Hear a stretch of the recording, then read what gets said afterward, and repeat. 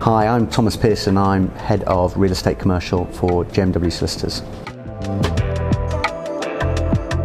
Recent stats showed that we have just under 300,000 homes vacant in the UK, and there's a target to deliver each year the same figure. So we've really got what some people have described as a national travesty, where in our society people can't afford their home. So in context, we've got 8.5 million people with an unmet housing need. 1.2 million of those could go straight into social housing.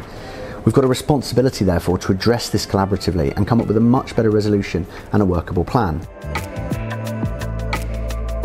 We've got to look at supply and we've got to look at the solutions. There isn't a single solution, so we've got to assess the what the major house builders have and they're bringing through. What does the overall supply chain look like? What's currently stalled in the planning system? What off offerings there are in other elements of the market like build to rent, including single family homes, affordable, social housing, it's worth noting that by the end of 2021, within the UK, we had 25% of properties rented privately, compared to, say, circa 48% in Germany. So some could see a potential there for that to increase. We've also got to acknowledge that the Help to Buy scheme, which was extended by the government, expires next spring. So for me, it's going to be really interesting to see how that plays into the housing market in general for the developers and the buyers. Will it be a major pinch point? And what are the options going forward? I expect that we'll see more affordable delivered and rent to buy available to assist those with the affordability issues. And there's a definite need on the other side for much more social housing and build to rent for those who can't afford to buy or who would prefer to rent. With our clients as well, we're seeing a real demand by SME developers who've got quality, viable, strategic sites with planning, but still can't get the relevant funding to make it work.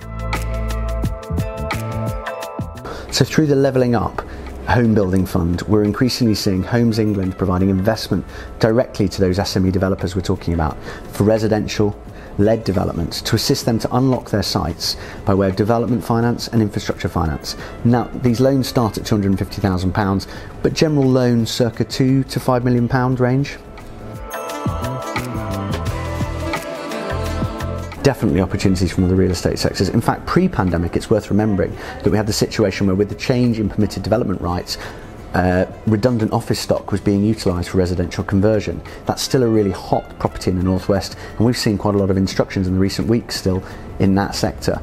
Um, looking to the future, we could well see vacant, poor performing shopping centres acquired and coming through as mixed use communities.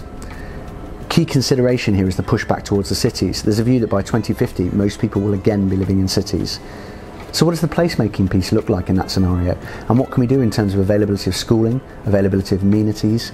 And if we've got a situation where planning permissions are coming through for live schemes with no or limited provision for affordable, but in some cases hundreds of parking spaces, how do we ensure that housing is available for as many people as possible to either buy or rent?